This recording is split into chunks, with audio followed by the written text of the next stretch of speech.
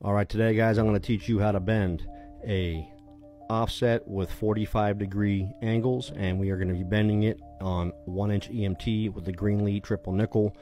This is Philip Appleton with Appleton Electric and this is part 13 of my advanced pipe bending series on the Greenlee triple nickel. This is part 2 and we are bending an offset. We're going to be using this 1 inch raceway right here and we are going to pretend that we need to offset up on top to this unistrut right here okay? Um, today what I'm going to also be doing is cross-checking my triple nickels. So I have these protractors right here that I'm going to be using. This is a Klein one but it's broken so I'm going to go ahead and just use my conventional one. So step one we need to get our elevation guys and that is 12 and a quarter inches. And so with a 45 degree offset we are going to be using the multiplier of 1.4 so we're bending two 45 degree bends and we need to figure out how far we need to mark our pipe out. So that'd be 12.25 times 1.4 equals 17.15, which equals 17 and an eighth inch. So that's where I need to mark my pipe. I started my first mark about six inches out from the end of the pipe, and I'm gonna pull that measurement off this line right here and make my second mark. Now I'm going to mark out this second mark and we are going to get this thing slid into the triple nickel. But first I need to bring the back the shoe back down to zero. Actually you want to bring it a little less than zero so you can slide the pipe in. Um, and that's half inch, three quarter, and one inch. So we're using the third slot over. So I'm going to go ahead and slide that pipe in.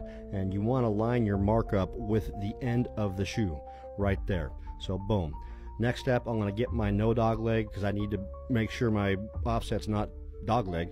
So I'm going to go ahead and set that and we are going to bend to the 45 degree mark and I'm going to check it with my protractor. Okay, very important. I want to make sure that my piece of equipment is accurate. So here we go. And there she rips. And I bend a little bit over because you're going to have what's called spring back, guys, uh, meaning that when you let go of that, it's going to spring back. So my no dog is dead nuts. I'm going to back this up. You pull that piece down, the stand down, and it will allow the pipe to slide out. Now I'm going to slide the pipe in backwards, but I have to get the shoe back to zero. So I'm going to bring that back to zero, and we are going to slide the pipe in from the opposite direction.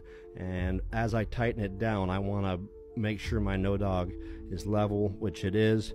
And then a little trick that I do with offsets is I'm going to put a level now on the top right here.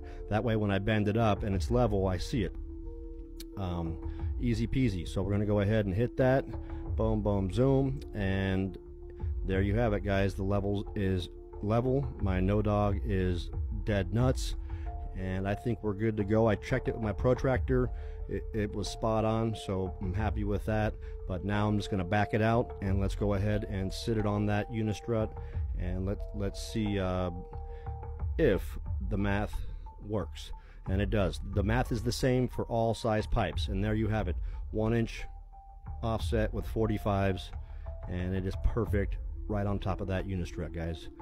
That's all I got for today um, I appreciate y'all you guys have a great rest of the day and take care.